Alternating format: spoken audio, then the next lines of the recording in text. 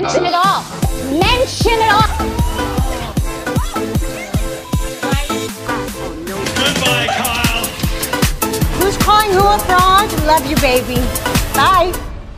Hello, Beverly Troop. Welcome back. I'm the real Andy of Beverly Hills. And guys, I have some tea for you coming from New Jersey because Joe Giudice is trying to come back. But before we get into it, do not forget to subscribe to my YouTube channel. Do it right now if you are new here and you want to join the Beverly Troop. Subscribe, subscribe, subscribe. Hit the notification bell, guys, and let's talk about this mess. Guys, as you know, Joe Giudice was deported after he finished his sentence. His sentence, you know, he was in jail for like I think three years. Okay, and then he also spent more time on an ICE um, detention center. I think it was like seven months. Okay, so and he ended up being deported. He, people, United States were like, "I'm so sorry, bye, bitch. We don't need you anymore. Bye." Well now, apparently, he is trying to come back and he is hiring lawyers and doing everything he needs to be done because he thinks that he deserves to be here. Okay? It says over here that on Saturday, November 19, Joe Giudice told E! News that his manager, Dominic Edgington, uh, of Dominion Talent House connected him with attorney Jessica Kodabib so they could start the process of trying to get him to the United States. He confirmed that his lawyer is filing a waiver of inadmissibility. According to the U.S. Custom and Border Protection website, the waiver will allow certain inadmissible foreign nationals to enter the United States temporarily as non immigrants. Okay. Then he goes and says, I feel I deserve one because I did my time for a mistake that I deeply regret. Okay.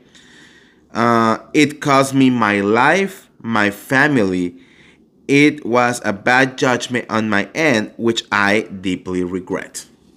So, I mean, I feel that this he was such an idiot by never become a citizen. Being here for so many years and never become a citizen, honestly. I don't know if it's gonna happen immigration here in the United States, it's a whole thing. It's very complicated. Now, these people they have money, so maybe they're they're find a, a way around it, you know. And I do think because you know, three of her girls. Uh, of his girls, you know, are still like in high school and you know elementary school and all that, and they might need uh, their father here, you know. So yeah, I mean, maybe at the end of the day, he did jail time. He paid what he needed to pay. Like, and it was, I mean, I don't think it was like a huge, like, crime. I think, I don't remember, I think this was just like tax fraud and stuff like that, right? Uh, and bankruptcy fraud or something like that. So it's very like, you know, um, just money money crimes, you know, so it wasn't like there was actual victims involved or any like that. So I will say like yeah, just let him come back. You know, he already did his time. It's not like he flew. It's not like he tried to not make it.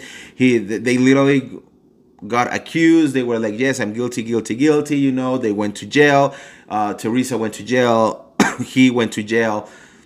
Like they already did their time. You know, uh, Teresa is rebuilding her life. So maybe he should also be able to to to rebuild his life. And you know he actually have lived almost all his life here in the united states you know in new jersey.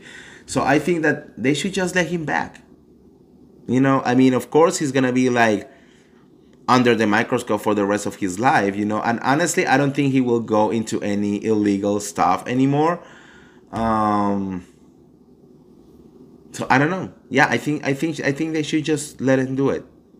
He pay his dues I guess, right?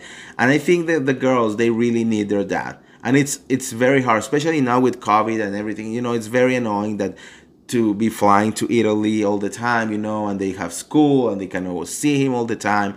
And the worst part is that he wants to be involved on her daughter's lives, you know. Like he's not trying to not be a dad or anything. He wants to be there. It's just like he physically can. So you know, at this point, I say like we already gave a second chance to Teresa Giudice. Let's just give one to Joe, okay? And it could be also maybe a great storyline for Teresa next next season, right? So yeah, anyways, that's what's happening with Joe Giudice. Let me know what you think in the comments below. Do you think that immigration should give him a second chance? Um, I don't know. What do you think should happen over here? Let me know. And like always, don't forget to like this video, share this video, subscribe to my YouTube channel, and I'll see you around. See ya. Bye.